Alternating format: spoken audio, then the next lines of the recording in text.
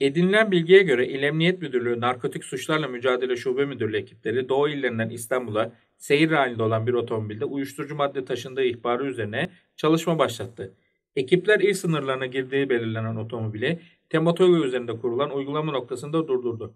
Durdurulan araçta yapılan aramada aracın çeşitli yerlerine paketler halinde gizlenmiş halde 8 kilo 400 gram esrar maddesi ele geçirildi.